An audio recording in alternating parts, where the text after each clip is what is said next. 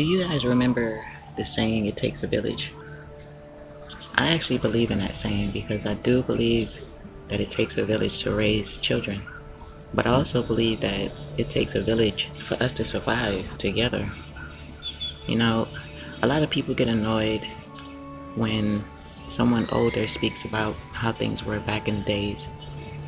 And it's not to throw anything in anyone's face, but it just seems like our moral compass was a little bit different. Just think about it. Back in the days, you wouldn't dare cuss in front of an adult, you know, someone older. You would give them your seat. You would help them with their bags. You protect the children, whether they were your children or your children's friends or a stranger's children. It just doesn't seem to be that way nowadays. It just seems to be everyone looks out for themselves. I remember back in the days, you would babysit your friends' kids, and it wasn't about money, it wasn't about charging them, it was just about those children having a safe place to go, a safe place to be. I'm not sure what happened, but we got lost somewhere. Somewhere, somehow, we got lost with that. And everything seems to be about money. Now, if you feel that that's the right way, then please please dig a little deeper in your heart. Because I just don't feel like that's the way, but that's just me. To each his own, of course. But think about it. I do feel like we all need one another for help. I do feel like we all should be able to lean on one another without it having to come down to how much money can you give me for that? You know, let's think about times when other single parents, let's say, couldn't make it to like parent teachers night because they had to work. You knew all the kids in the neighborhood, so you would step in, you would pick up that report card, you would even sit with the teacher and find out what's going on so you can tell the other parent everything that's going on with their child. Parents depended on one another. I remember when my kids were smaller, it was just me, and I wasn't always able to take them everywhere, and pick them up, but there were other parents that used to help me there were other parents that used to give my kids rides, and I appreciated that. And as you can see, even to this very day, even though my kids are adults, I still appreciate all that help that I received because I couldn't do it alone. What happened to that, guys? What happened to us sticking together? What happened to us looking out for each other? What happened to us being a village?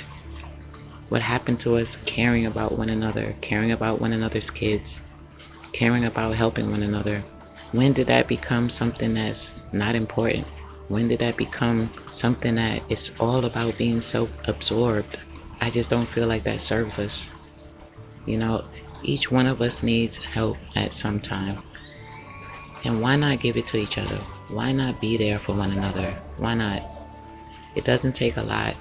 I remember times when, even when I was growing up, and I didn't have a lot growing up at all, there were parents out there that would pack an extra lunch to give to me because perhaps one of my friends told them that I didn't have much. And out of the kindness of their heart, they would just pack an extra lunch to give to me. You know, I used to spend the night at some friends' houses, and their parents used to treat me like I was their own child. I remember that like it was yesterday. I remember having best friends. You know, when you're growing up, depending on your age or your environment, you have different best friends, and I remember those best friends' parents really, really caring for me like I was their own child. I really wish we can get back to that. Our kids out here, they need us to unite. Our kids out here, they need us to operate like a village. Us as individuals, we need that village. We need one another. I know a lot of times we like to feel like we can do it on our own. And for the most part, we can. You know, we're strong. We're resilient. So for the most part, we absolutely can do things on our own, but at some point you do need someone. At some point you do need help. I don't know anybody out there who just never ever needed help from anyone. The only bad thing about that is a lot of times now it comes down to money. You'll help someone if they give you something. You'll help someone if you gain something. It's not so much from the heart anymore. It's for personal gain. Or sometimes people ask for help to do the wrong thing. You know, people ask for help to hurt somebody. People ask for help to destroy somebody. People ask for help to do different things in a person's life that will really make their life difficult. I'm really not sure how it came to this, but sometimes if you put the right dollar amount next to that, people actually help do that. When did it come to that? When did it come to people saying, no, I refuse to help you hurt someone? I refuse to help you make someone's life difficult. I refuse to allow you to buy my integrity. Our integrity and our morals should not be for sale, guys. It should not. Our integrity and morals should be priceless. There should be no one that can put a price tag on our moral compass. There should be no one that could be able to sway us to do things to ourselves or to other people that'll cause hurt or harm or danger. When did that start happening? I would love for us to get back to caring about each other, wanting to help one another, wanting to help the children. So many different things happen to children nowadays. It takes all of us collectively to make it a safe environment for children, not just our own children. I know nowadays, I don't know, children, they're a little more feisty than from what I remember or from how I grew up. They do things a little bit differently but they still need us. We still have to teach them right from wrong. If we only focus on our own, I just don't think that spreads wide enough. Look, guys, we're not crazy if we understand it takes a village not just to raise children, but to help one another for us to get through our day to day.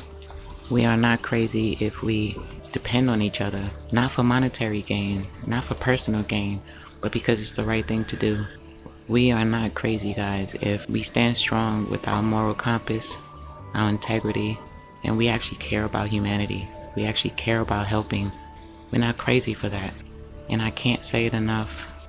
If it were up to me, we would definitely get back to that because it makes humanity stronger. It makes us stronger. It gives us more hope. It helps us to be more connected it helps us to not feel alone. And we're not crazy for that. Because I'm not crazy. And neither are you.